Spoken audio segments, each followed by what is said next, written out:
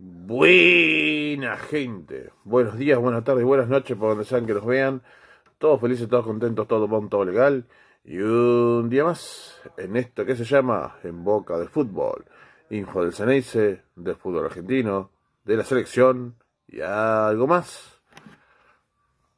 Empezamos con la info del Ceneice de hoy porque viene cargadito. Hoy lunes muy cargado, post platense y la primera noticia, por lo menos pensando ahora contra Sarmiento, que se va a jugar en el nuevo gasómetro, en el partido del jueves. Diego Martínez ya está pensando en unos cambios. Y los dos primeros que va a poder ver como cambio va a ser Zenón, que entró muy bien frente al Calamar, que lo quiere ver potenciado, y seguro que saldría Ramírez. Y el segundo que podría entrar es Cavani, que justamente para así con esta información de Cavani que podría ser que, salga por Menentiero o Langoni, dependiendo de las circunstancias, otra vez lo sondeó desde el gremio de Brasil. No se sabe si se lo llevan o no, por lo visto de Boca no creo que lo larguen ya ahora, y, pero los brasileños le iban a ofrecer un buen contrato. Yo, yo creo que no va a salir Cavani, no creo que lo vendan. Y no y descarto cualquier posibilidad que se vaya al fútbol brasileño, así que como lo vinieron a buscar antes, cuando se fue Suárez, no creo que lo vengan a buscar ahora. Lautaro Blanco, ¿qué pasa con, el, posible nuevo refuerzo? Se hizo la revisión médica, falta que estampe la firma, pero de todo ok. Puede ser que ya mañana mismo, ya mañana martes, tengo novedad de que Lautaro Blanco sea nuevo refuerzo de Boca Juniors. Va a firmar por hasta diciembre del 2028. Así que veremos qué es lo que puede pasar mañana martes. Bruno Valdés, ¿qué pasa con, el paraguayo? ¿Va a ser pirata? Según los rumores de, Córdoba, dice, va de los medios partidarios sobre noticias de Córdoba, que Belgrano estaría buscando a Bruno Valdés. Boca de la única forma que lo puede largar es vendiendo parte del pase, porque si no, por tema del ocupo, no piensa prestarlo. Es un rumor, no se sabe si es verdad. Después, por otro lado, en búsqueda de un mediocampista, luego de estos partidos que por ahí, más que nada contra Platense, se dio cuenta que el mediocampo no sirve de nada, vieron los ojos en Ignacio Miramor, es jugador de, de Gimnasia de La Plata y que está jugando en el Lille de Francia Boca habrá preguntado condiciones con el equipo francés y veremos en qué puede llegar. ¿Puede ser un jugador interesante para Boca? Sí, puede ser. Pero lo más interesante de todo esto es que Fabra está sondeado desde Turquía. 4 millones vale el pase de Fabra. Y el, interesado ante la salida de un jugador estrella como es Angelino, el Galatasaray de Turquía, quiere los servicios del colombiano que por lo menos en este partido contra Platense volvió luego de la final de la Libertadores y lo hizo bien. Ahora, ¿seguirá en esta banda de Boca? No sabemos. Hay sondeos.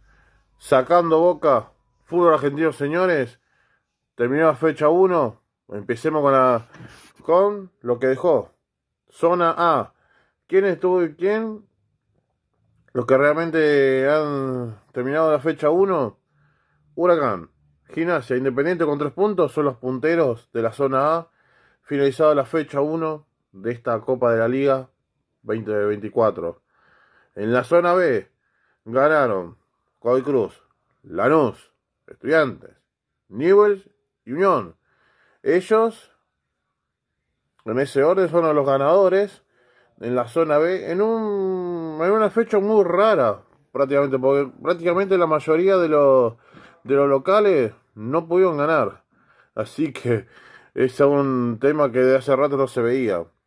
Después, en el tema de goleadores, William Alarcón, que además fue elegido como mejor jugador de la fecha, con dos goles que se despachó frente a Banfield, y Walter Bow, con dos goles que se despachó frente a San Lorenzo, son los goleadores de este campeonato. Y como ya dije antes, Alarcón, con sus dos goles frente al taladro se convirtió en el jugador de la fecha, señoras y señores.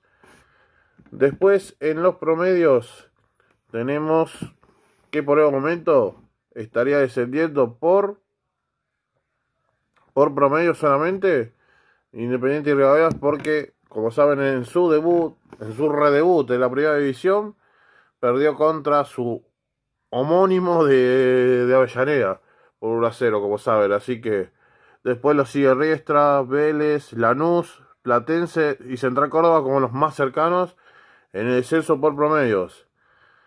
Así que por lo menos la fecha 1 tenía esa forma, pero hasta hace un ratito nomás arrancó la fecha 2, señoras y señores. Arrancó la fecha 2 con un solo partido y que recién ahora terminó entre Instituto de Córdoba y Atlético Tucumán.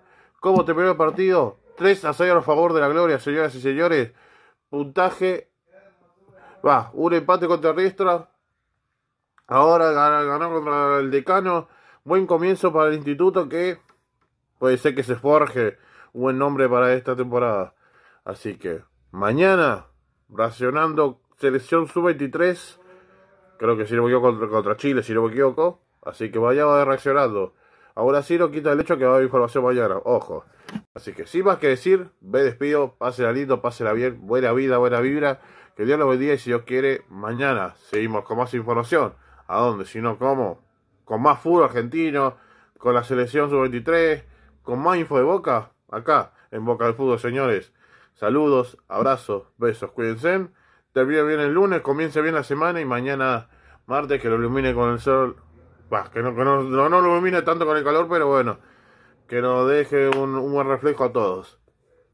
Saludos, chao, chao.